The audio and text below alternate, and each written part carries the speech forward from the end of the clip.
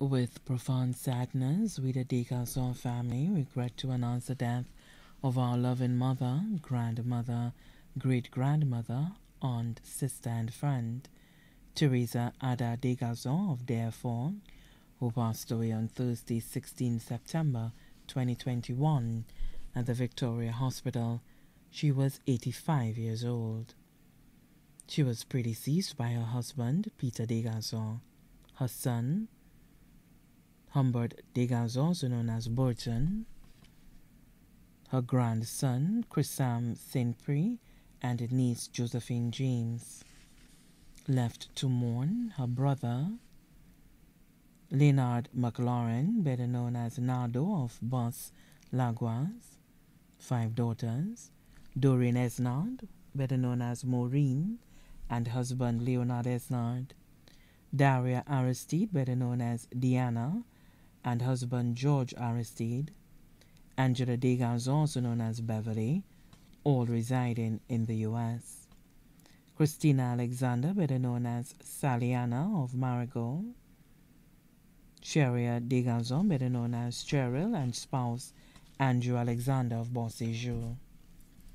Four sons Michael McLaurin, better known as Mike of Ciceron, Sigbert Degazon, also known as Aldrich, and wife Veronica Degazon of the U.S., Simond Degazon, better known as Hurius of France, Peter Degazon, also known as Hester, and wife Augusta Degazon of Canaries, stepson Randolph Jean-Baptiste and family of Asukanal, adopted son and nephew Philip McLaurin and family of Balata, 15 grandchildren Leonardo Esnard and wife of Babonneau, Mario Greaves and family of Marcel, Fidel Esnard of Otsa,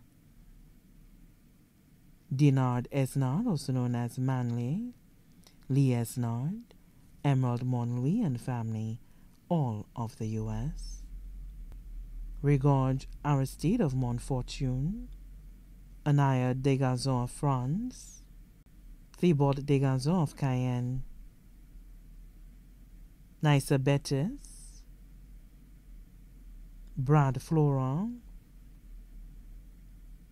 Tornel Degazon, Renel Degazon, Giovanni St. Prix, better known as Duke, all of the U.S., Jaquan Alexander and Jada Alexander of Beauséjour Gros Islet, nine great grandchildren, both here and abroad, special friends, the Aristide family of Granivier, Helen Chico of Rockall, Rose Zafrin of Rockall, Anne Glasgow of the U.S., Debbie Brown and Kelvin Joseph of Ciceron, Chad Andrew and family of Leclerc, caregivers, Patsy Andrew, his niece of Babonneau, Elfrida Joseph, better known as Ruby of Ciceron, also his daughter-in-law, and many other friends both here and abroad, too numerous to mention.